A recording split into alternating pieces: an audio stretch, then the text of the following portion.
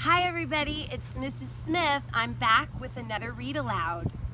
I am reading this great book with permission from Penguin Random House. Thank you so much. Our book is called Carmela Full of Wishes. It's written by Newbery Medal award-winning author Matt De La Pena and Caldecott Honor award-winning illustrator Christian Robinson. You may know them because they wrote the Newbery Award winner Last Stop on Market Street and won the prize back in 2018. I picked this book today because it's beautiful springtime weather here in Texas and I think this book talks about springtime and wishes. Check out the end papers with the people working in the fields picking the crop. Carmela Full of Wishes by Matt De La Pena and Christian Robinson. They actually signed this book for me when I met the authors and illustrators at a conference. Carmela scootered along the uneven dirt path, watching men stoop to work with their hands. Her birthday bracelets jingling and jangling. The thick, the thick greenhouse air smelled of marigolds and overturned earth and fresh manure. Carmela knew exactly what manure was, but she didn't want to think about that. Not today.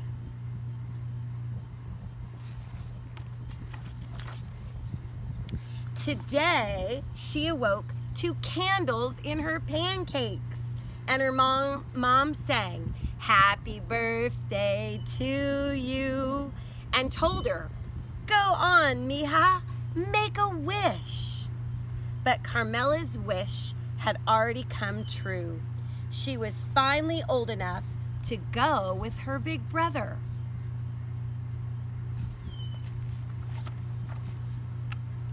Carmela followed as he cut back onto the street at Freedom Boulevard past the crowded bus stop and fenced off repair shop, past the old folks' home where two hunched old women waved smiles, past the huge home improvement store where her dad used to stand around weekend mornings waiting for work.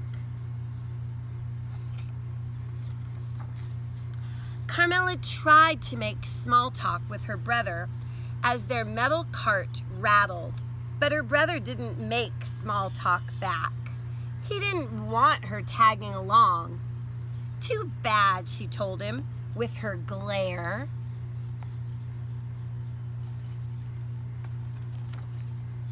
Just outside the laundromat, she picked a lone dandelion. Growing among the concrete weeds, she pulled a breath and leaned toward the fuzzy white bulb. But just before she could blow, her brother butted in. Did you even make a wish? You're supposed to make a wish. Everyone knows that. Of course I made a wish, she told him. But it was a lie. Carmela didn't know. Carmela helped her brother sort colors, one-handed, helped him load the washers, one item at a time. While their clothes spun, her imagination turned. Early new thought ushered in by a jingle of bracelets. Her brother found the sound annoying and shot her a dirty look. Too bad, she told him with her glare. She jingled her bracelets as she rode up to Miss Maria's vegetable stand, imagining a machine built into her bedroom wall, one that would spit out anything she could think of, but mostly candies. I guess she liked candies. She jingled her bracelets in line at the locksmith shop imagining her mom sleeping in one of those fancy hotel bill, fancy hotel beds she spent all day making for fancy guests. She jingled her bracelets at the bodega down the block from their old apartment building, imagining her dad getting his papers fixed so he could finally be home. She jingled her bracelets outside the pharmacy, eyeing the shiny new bikes in the window. Her brother stopped in his tracks. Why do you have to be so annoying? She thrummed her bracelets at him and said, It's a free country. The only time she didn't reach for her bracelets was when her brother ducked into his friend's house. Carmela slumped down on the curb, silently imagining all the things she could turn him into. The slimy pink tail of a rat, a cockroach scurrying away from the light, a wheelbarrow full of manure left out in the sun. She stared down at the dandelion in her hand. It seemed so much more important now that she knew it was a place to put her wishes. What if she made the wrong choice? Carmela tried to hop a curb on the long trip home, but her tire caught and her handlebars twisted and she went crashing down to the concrete. Don't cry, don't cry, don't cry, she thought, but then she saw her dandelion crushed beside the drain. She looked up at her big brother, warm tears rolling down her cheeks. He lifted up her scooter. You okay? She shook her head and pointed. My wish! He took her by the arm and led her back up the block, past the laundromat and the flea market, past the greenhouses and the smell of manure, past the overgrown park, and across the train tracks. He didn't stop until they made it to an abandoned farmhouse near a cliff overlooking the sea. Close your eyes, he said.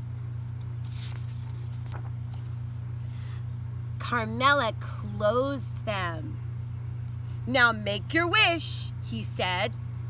Carmela listened to the ocean's hum in the distance.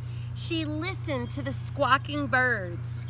She listened to the wind whistling past her ears. Then she opened her eyes.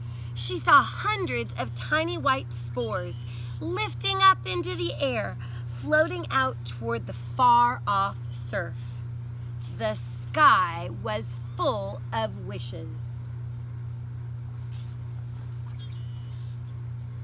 Let's go, her brother said. Don't you want to know my wish? she asked. He shook his head. If you tell me, it won't come true. She looked back one last time, then took off her bracelets and followed her brother home. So I guess she didn't need her bracelets anymore.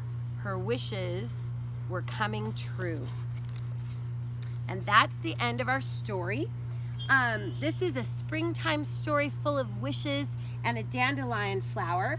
So I have a suggestion for you all. Next week, May 1st, is called May Day. On May Day, a European tradition is to gather flowers and I picked these from the yard around my house.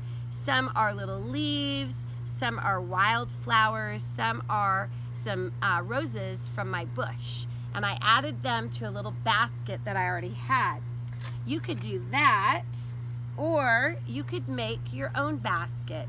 I made this one with a paper bag. I took my scissors and I cut off the top and used tape to add that topper to make a handle. You could use any bag that you have at your house. A pair of scissors and some tape will do the job. Once you've gotten your basket, put some flowers in it and you hang that little prize on a doorknob. You can choose mom and dad's room or your brother and sister's room. You hang the basket and then you knock and you run and hide. The idea is bringing them a spring or a May Day wish. I think it might be fun and some of my Roadrunner friends might like doing it. Thanks again to Penguin Random House for allowing me to share this great book. I hope you all are reading and I look forward to seeing you again next time. Thank you.